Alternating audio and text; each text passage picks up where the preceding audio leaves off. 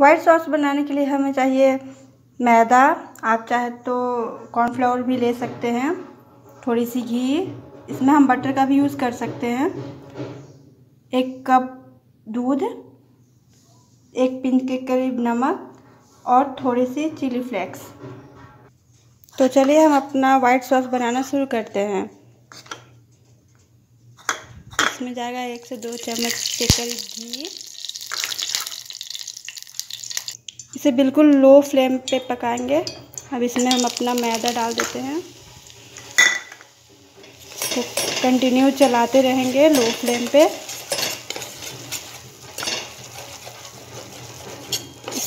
हल्का, ज़्यादा ब्राउन नहीं करना है, बस हल्का इसमें कलर चेंज होना चाहिए। ऐसे हम इसे चलाते रहेंगे, जैसे हम हलवे चलाते हैं। धीरे धीरे लो फ्लेम पे।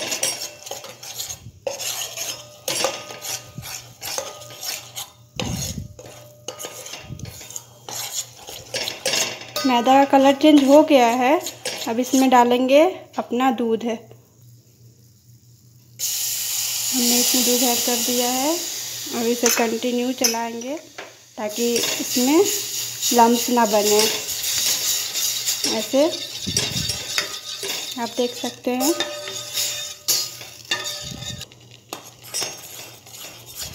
हमें तब तक इसे पकाना है जब तक ये ठीक ना हो जाए। अब देख सकते हैं कि हमारी जो मैदा है वाइट सॉस जो हम बना रहे हैं, वो थोड़ी गाढ़ी हो रही है।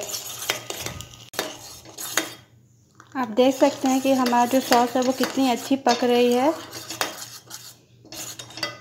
आप अपने अनुसार इसमें पानी भी ऐड कर सकते हैं, अगर आपकी कंसिस्टेंसी थोड़ी ठीक है तो। लेकिन हमारी तो बहुत अच्छी बनी है, बिल्कुल वाइट सॉस की तरह। ये देखिए मेरी वाइट हमारी वाइट सॉस जो है वो बिल्कुल तैयार है।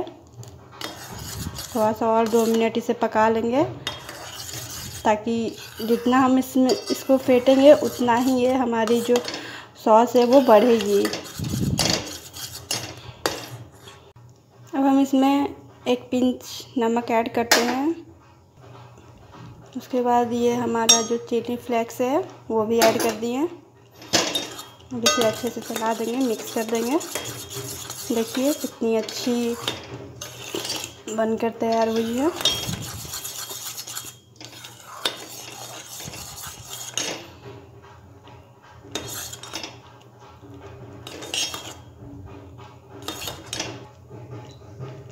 हम गैस का फ्लेम बंद ऑफ़ कर देते हैं।